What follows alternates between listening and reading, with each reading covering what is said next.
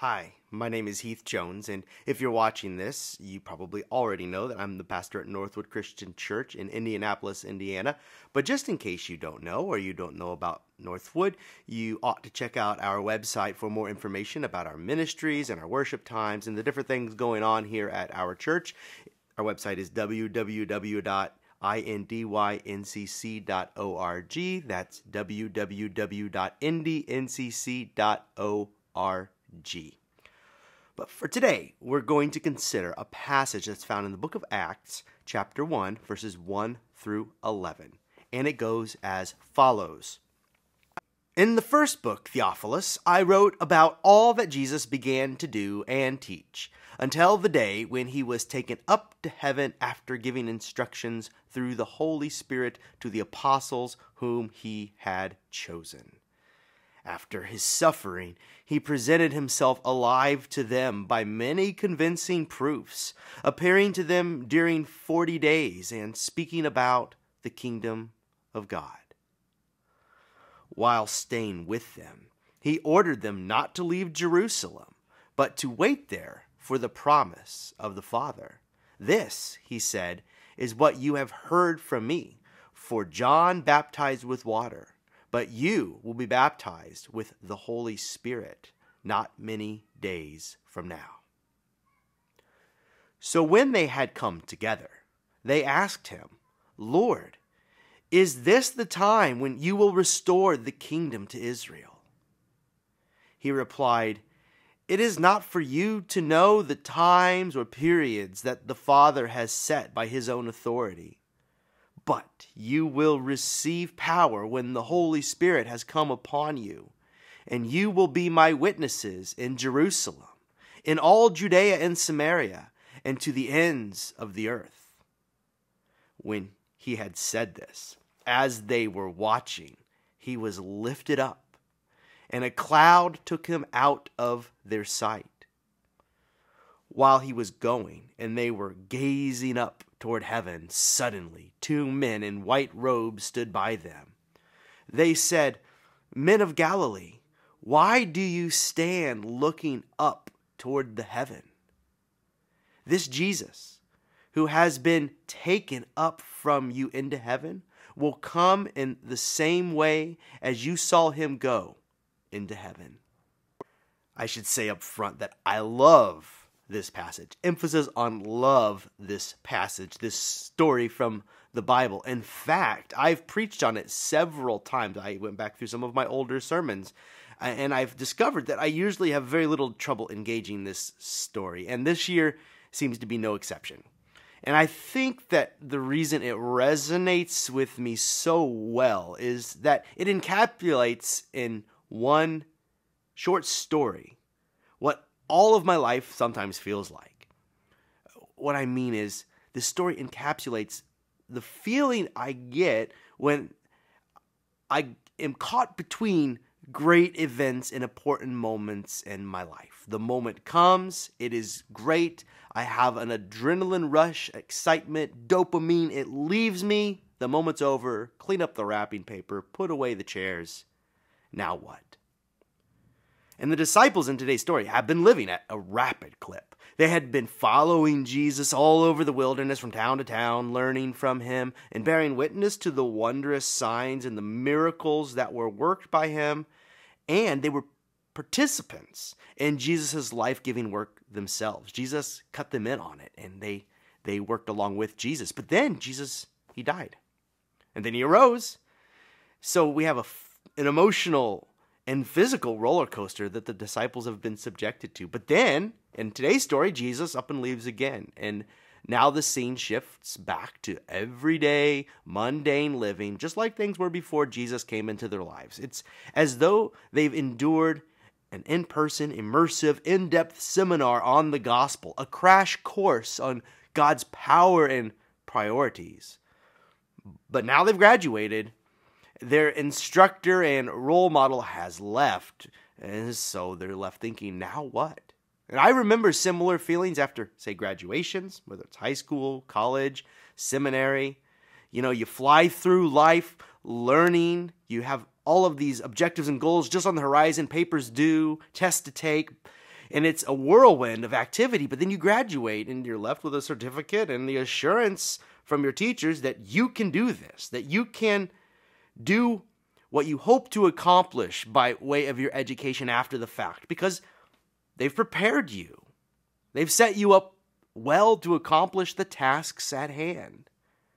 But some of us sitting in our seats waiting to walk up and receive our diplomas aren't so convinced that we are ready to take on whatever comes next. And some of us can't believe that it's really over. And the disciples seemed to feel this way in today's story. They ask Jesus about the coming of God's realm and when it will come in full and they can look around them and see that there is still a lot of work to be done. And so they ask him, When will the kingdom restore Israel? And Jesus replies, It's not for you to know the times or periods that my Father has set by his own authority. But you will receive power when the Holy Spirit has come upon you, and you will be my witnesses in Jerusalem, in all Judea and Samaria, and to all the ends of the earth. I think that's a frustrating answer to the question when will the world be fixed? And Jesus answers, Can't tell you. But one thing is certain you are going to be a part of it. You are going to be a part of what brings God's realm down to earth.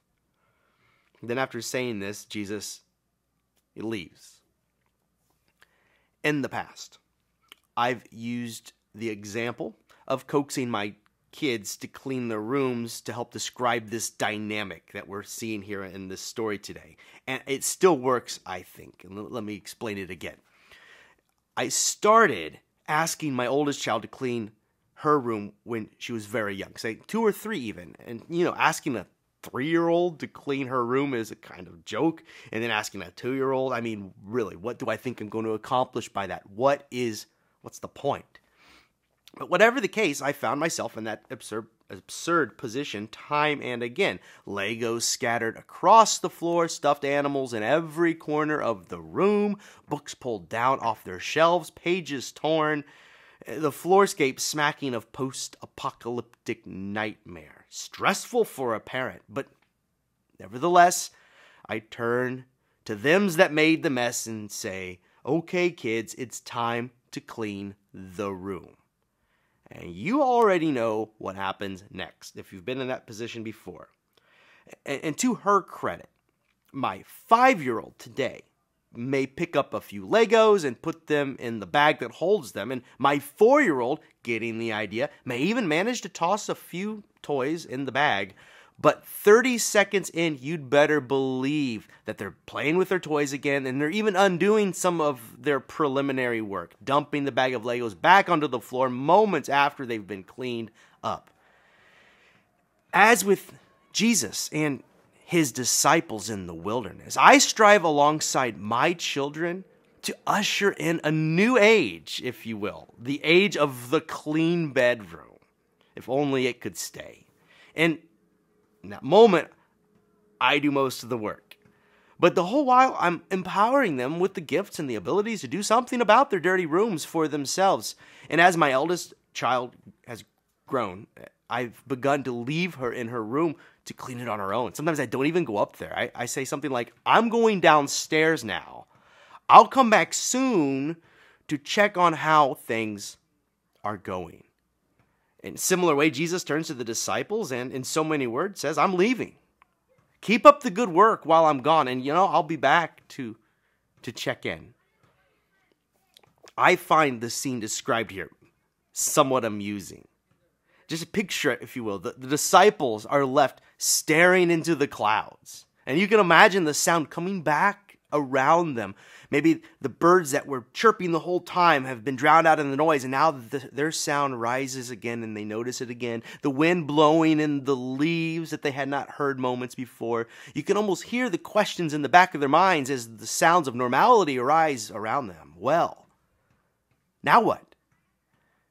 And you can imagine the disciples jumping, startled by the voices of the two men we read about in the story that they hadn't noticed those two men dressed in white, men of Galilee.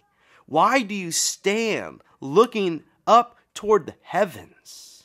I'm reminded of my nine year old when she was younger. I, I basically do this, the work for her, all the work, in fact, and I'd take triple the time to do it because I would insist on doing it alongside her. Because it's this father's desire that as she grows, she can be about her father's work, or at least as it pertains to cleaning her room. And over time, I've engaged less and less, and she's gotten better and better at cleaning her room. So when she tells me that her siblings have made a mess of her room or have pulled down all the books, I say in so many words, Why do you stand looking toward, well, not the heavens in this case, but maybe at the floor? Go clean it up. Now it's your turn. You can do it. You have everything you need to start. I'll be back to see how you're doing later. This is exactly what we find in the book of Acts. Jesus leaves, but his friends discover the same Spirit of God that enlivened Jesus is alive and active in them. And so they took on the work themselves, and the rest is history. They loved their neighbors. They healed. They restored lives. They restored outcasts to their communities. They found that they could do the work and it made a difference. And so I say to you, my church, Northwood Christian Church, we can do this too. In fact, we're here because we've been called to this purpose.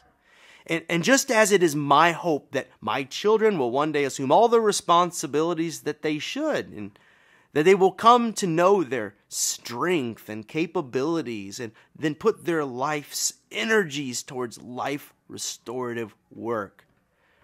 God hopes that we will do the same.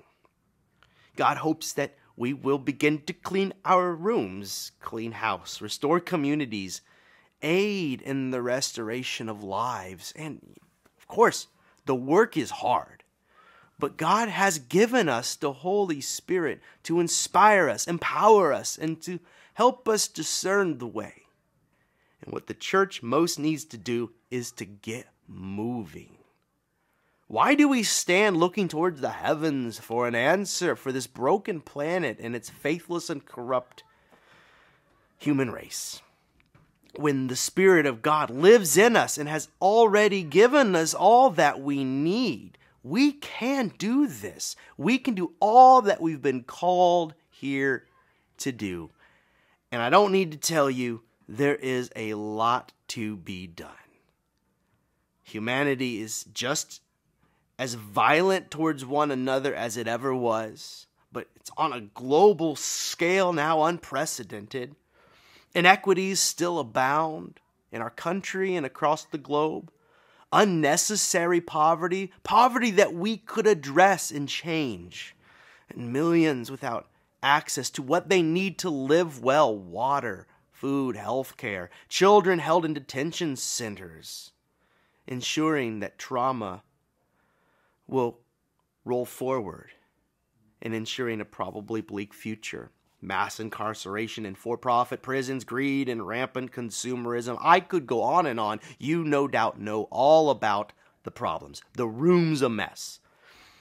But when I come back to check on my daughter to see how things are going, I'm often proud to discover that not only has she put her room back in order, or mostly at least, but she has taken the initiative to reorganize it, creating an even better space for her to dwell.